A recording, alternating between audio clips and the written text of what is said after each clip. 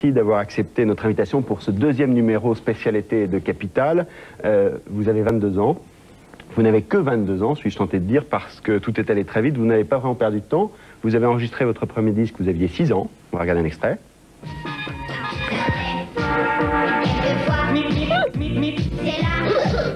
Et, à 12 ans, vous avez, euh, vous avez failli tout lâcher. Vous chantiez encore.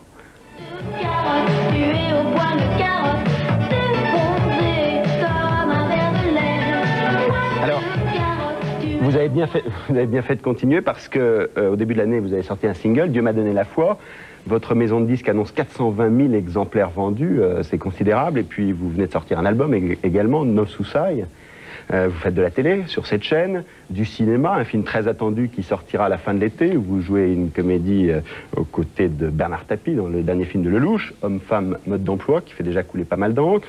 Euh, Est-ce que vous profitez au moins du mois de juillet pour vous arrêter un peu, pour prendre des vacances, ou est-ce que vous continuez votre course effrénée euh, encore pendant l'été? Je continue ma course. Ouais. Moi, j'arrête pas. J'ai un tournage pendant deux mois. en ce donc, moment euh, ouais, en ce moment, j'ai déjà commencé il y a deux semaines. Et donc, euh, bah, je suis en plein tournage, là, je bosse.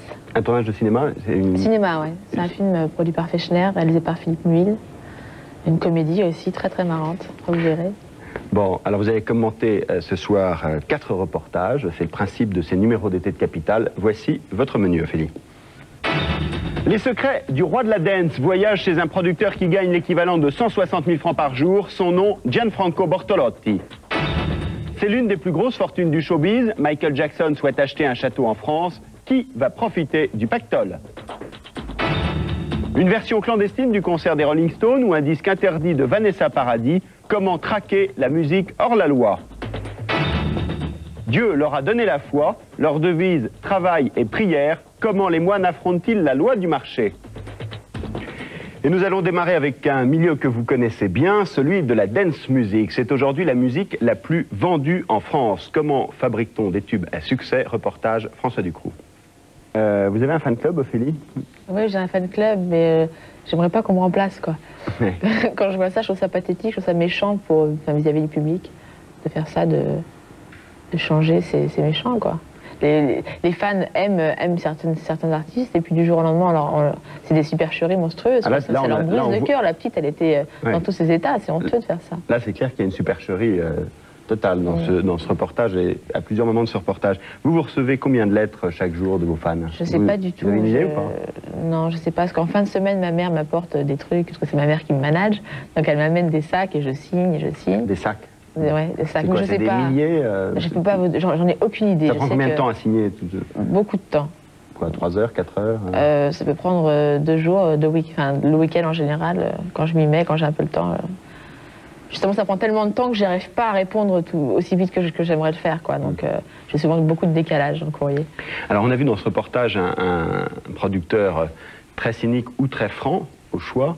Euh, Est-ce qu'il vous est vous déjà arrivé d'avoir euh, des producteurs à pro gain Est-ce que ça se passe vraiment comme ça?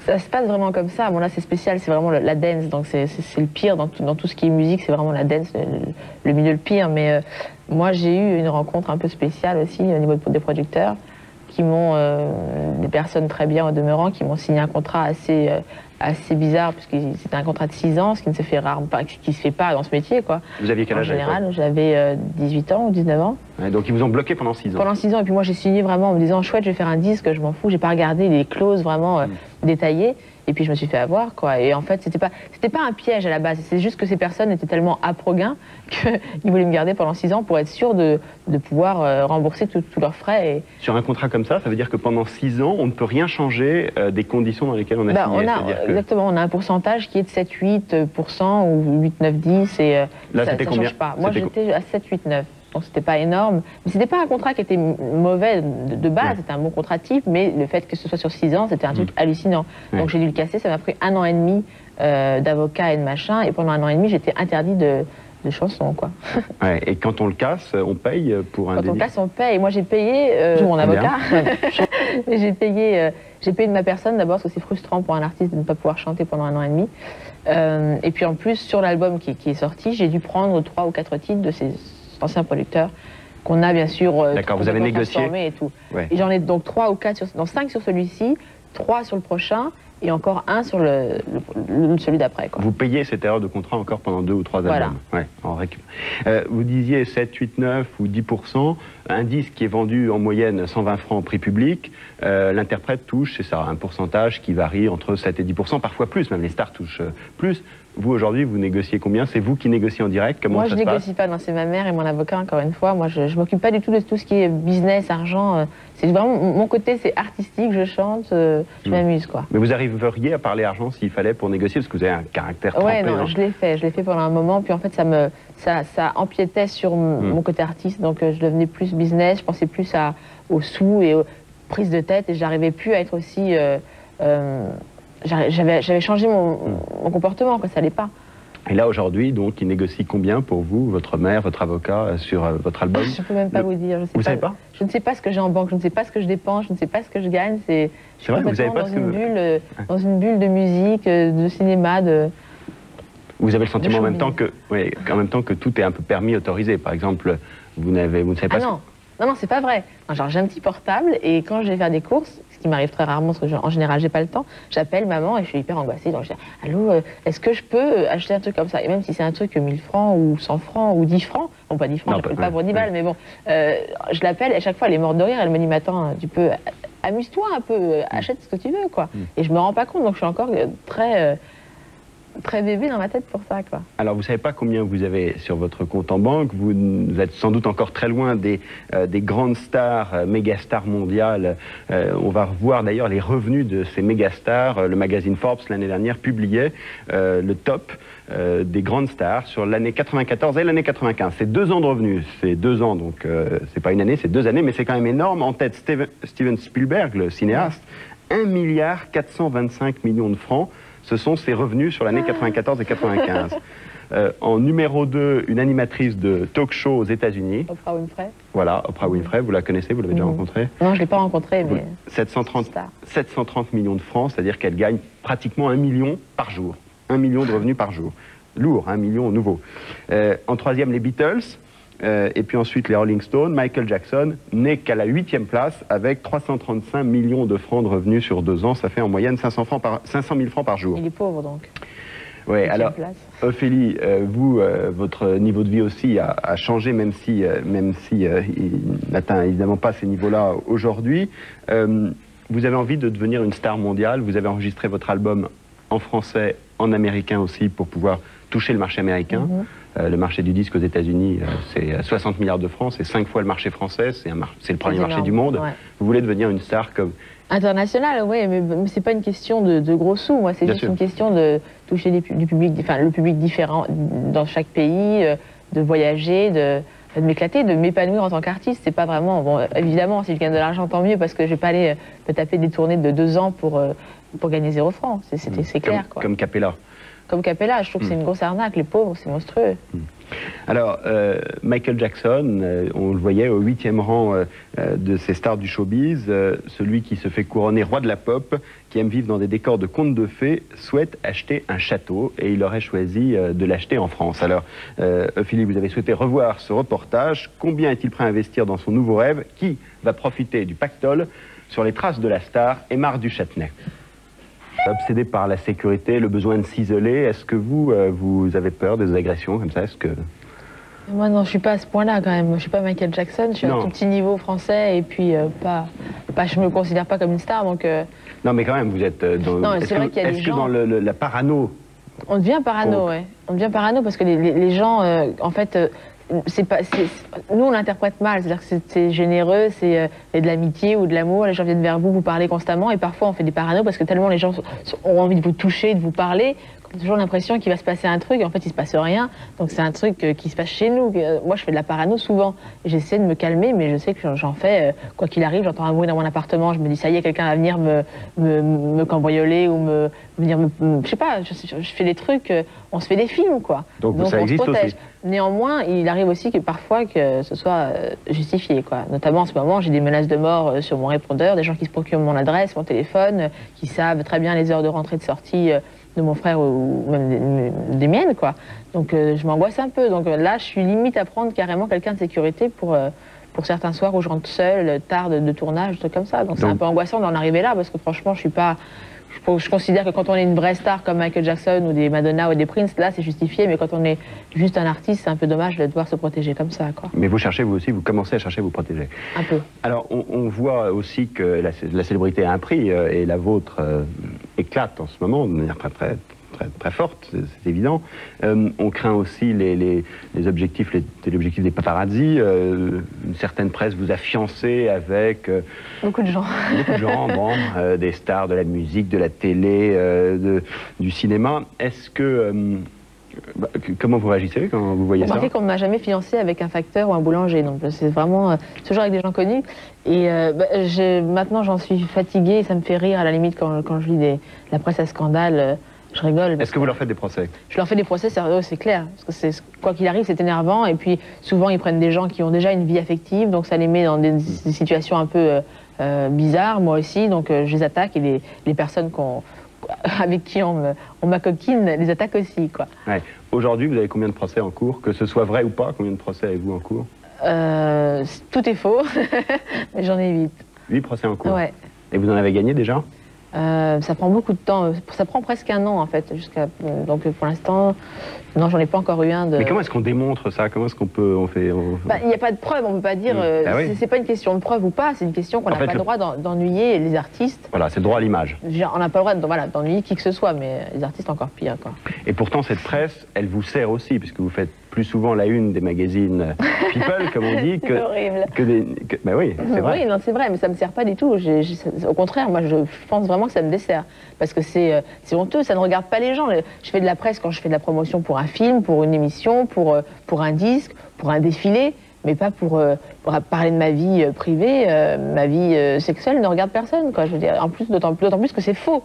Donc hmm. c'est vraiment ridicule. Non, mais que ça ne regarde personne, ça. Enfin, même si non, mais c'est pas de la vraie promotion, au contraire. Moi, je trouve que ça m'égratine plus qu'autre chose. Parce que faire passer pour une fille légère dans la presse à scandale, moi, vis-à-vis de mes fans, je me trouve, euh, je me trouve sale. Ça me salit, ces trucs-là. Hmm. Ophélie, on se retrouve tout de suite après une page de pub pour la suite de cette émission. À tout de suite. Et ce soir, Ophélie Winter. Euh, Ophélie, euh, votre dernier album, on le trouve à peu près à 120 francs dans les magasins en France. Aux États-Unis, il vaudrait 60 francs. Mais oui, parce que le marché est beaucoup plus large, il est amorti sur un très très grand nombre de gens qui achètent des disques aux États-Unis, et puis les taxes sont plus faibles aussi. Et alors, si on le pirate, si on le pirate, on vole plein de gens, à commencer par vous, les auteurs, les interprètes, et on pourrait le trouver à 45 francs voire moins. Euh, c'est énervant. C'est énervant. Euh, vous nous direz si vous avez déjà été piraté. Euh, en tout cas, c'est une industrie, l'industrie du disque pirate qui prospère.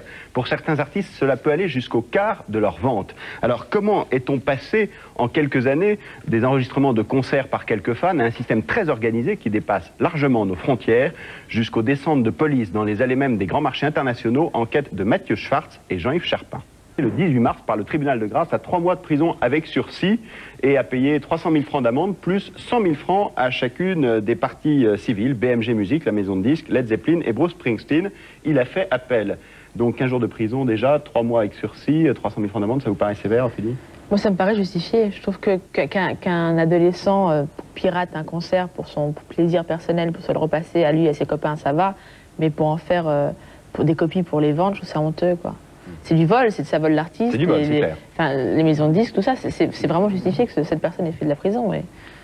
Vous, il vous est déjà arrivé d'être euh, piraté? Moi, on ne m'a pas encore piraté parce que je suis euh, fresh, comme on dit, donc je viens d'arriver dans... j'ai qu'un album de fait, puis j'ai pas fait de, de, concert ni rien, donc j'ai pas eu l'occasion d'être piraté.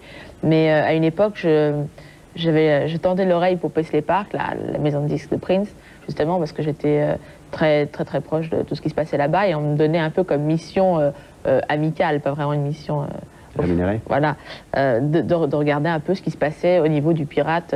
en France et puis dans les pays où j'allais et tout. Et j'avais plein de, copains qui me faisaient écouter des choses de Prince que, moi-même je n'avais pas entendu étant à Paisley Park.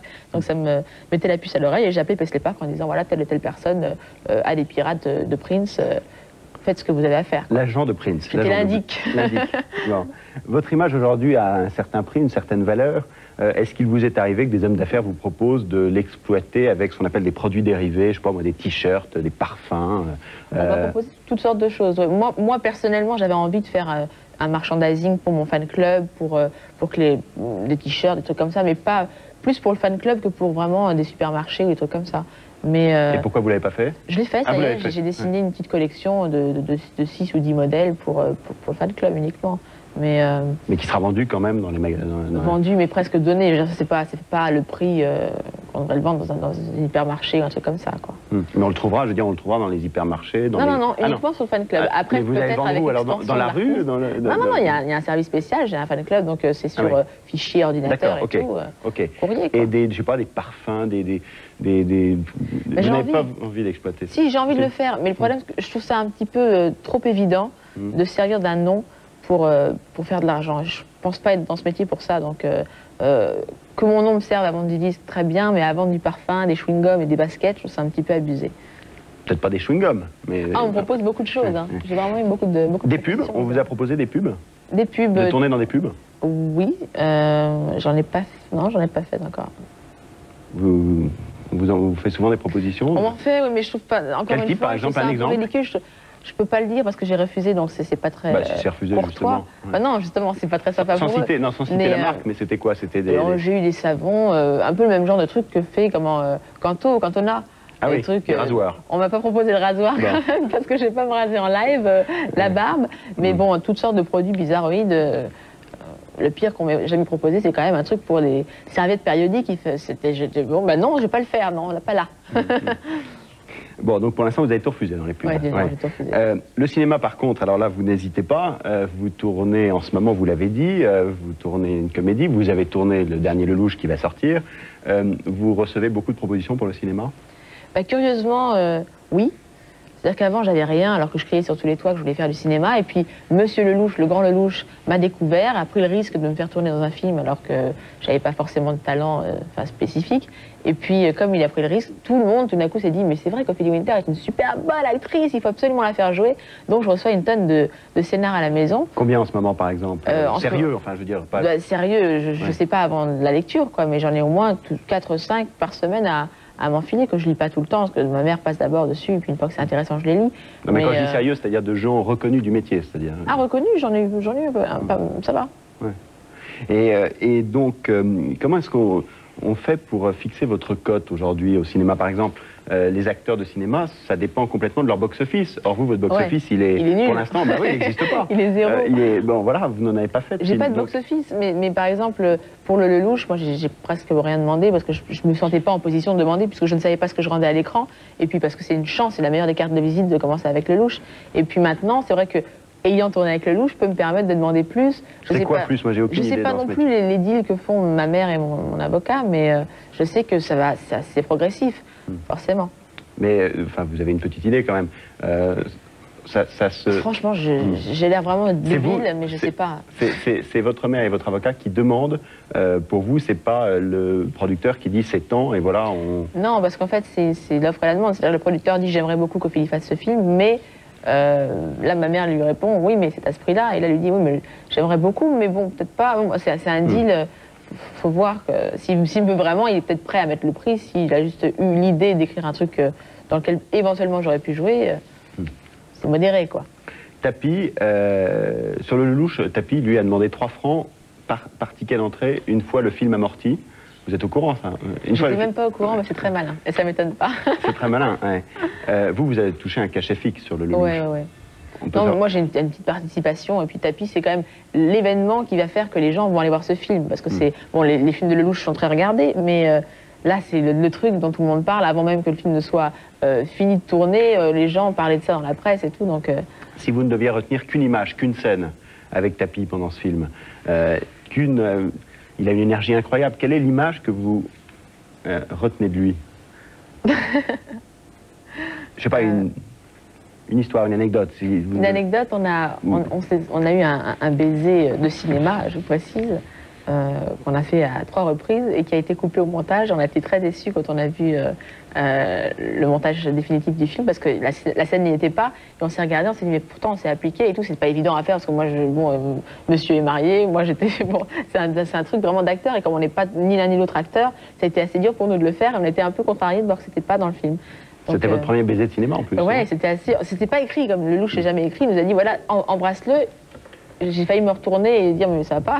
Et qui était, le plus, qui était le plus déçu des deux que- qu'il ne soit pas dans le montage final, d'après vous? Ah, tous les deux autant l'un que l'autre, je pense. Pas un, un peu plus que d'autres Non, non, non. Moi, en tout cas, j'étais très déçue. Bon.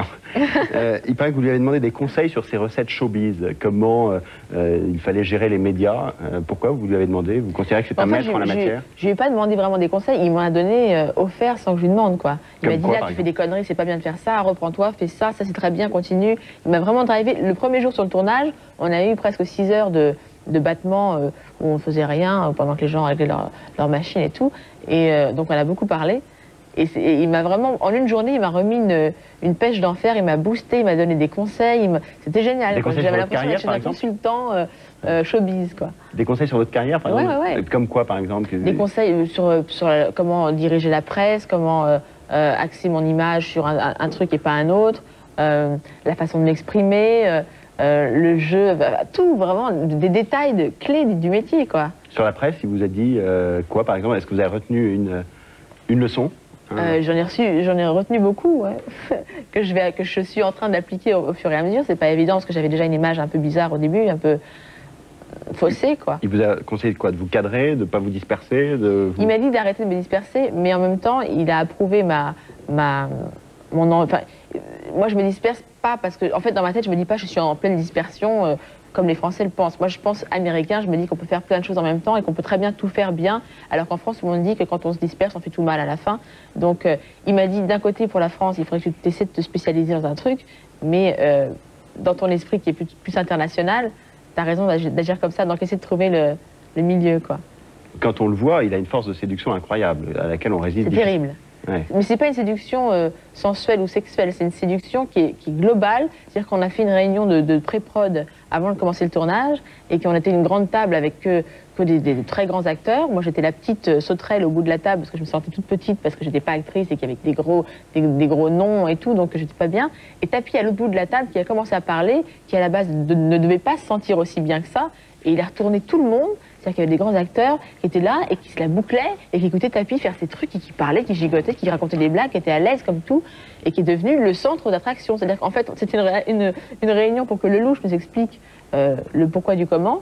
Et ça s'est fini avec Tapi qui nous expliquait comment on allait faire le film. C'était génial. Vous le. Non, bah non. non, vous, euh, bon, alors, on va changer complètement d'univers pour finir cette émission. On est bon dans le showbiz, l'éphémère, le, tout, ce qui, euh, tout ce qui brille. Et on va partir là dans un monastère. Euh, Dieu m'a donné la foi et Dieu leur a donné la foi. Ces hommes et ces femmes de Dieu que nous allons voir maintenant, pour subsister à leurs besoins, commercialisent un certain nombre de produits. Comment affrontent-ils une économie de marché à laquelle ils n'étaient pas du tout préparés C'est un reportage surprenant de Bruno de la Palme et Alexis Marant. Ophélie, chez vous, euh, cette obsession euh, d'être numéro un euh, existe-t-elle? Euh, La compétition, est-ce que c'est important? Est-ce que vous l'avez beaucoup dit Vous voulez réussir? Ouais, c'est permanent, c'est c'est une obsession, c'est exactement ça. C'est je me couche le soir, je me lève le matin, même la nuit en général, j'arrive. Je dors pas très très bien et j'y pense constamment, je cogite, c'est comment faire pour être tout le temps euh, dans l'air du temps, pour un nouveau truc, une nouvelle idée. euh, et que j'arrête pas de marquer sur euh, des, des petits bouts de papier un truc, euh, tiens, ce serait, ce serait bien de faire ça et tout, pour être tout le temps euh, dans le move, comme on dit. Une obsession qui, euh, on sait que vous êtes croyante aussi, vous, Mhm. vous l'avez dit, Dieu m'a donné la foi, ce, ce- le titre de votre, euh, de votre single.